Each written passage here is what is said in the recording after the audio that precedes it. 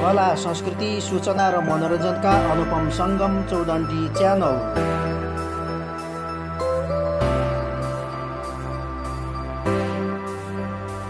बेलका बाटिका। भविष्यमा एक पर्यटकीय स्थलको रूपमा स्थापित हुन सक्ने स्थल हो बेलका बाटिका।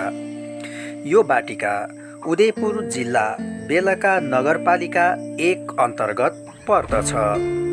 आम्बासी टोलको पूर्वपट्टि बेलका तरी छेउमा पर्ने यो बाटिकामा हाल भने मानिसको उपस्थिति कमै हुने गरेको छ।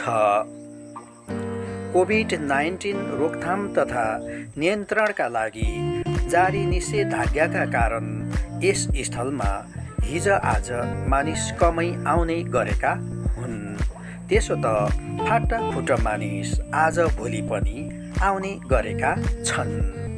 विशेष गरेर सेल्फी फोटो ड्राई तथा पिकनिकका लागि मानिस यहाँ आउने गरेका हुन्। प्रकृतिको सुन्दर हरियालीसँगै यहाँ बनाइएका पोखरीले बाटिकालाई अझ सुन्दर बनाएको छ। बाटिकाको वारिपारी गुम्बा तथा देवदेवीको मन्दिर निर्माण भएको छ।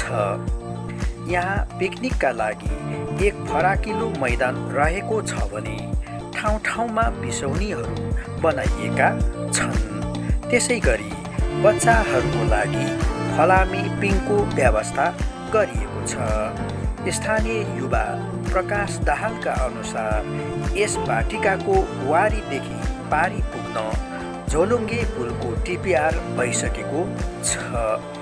नगरपालिकाको अनुदानमा आवश्यक भौतिक संरचनाहरूको निर्माण कार्य भइरहेका छन्।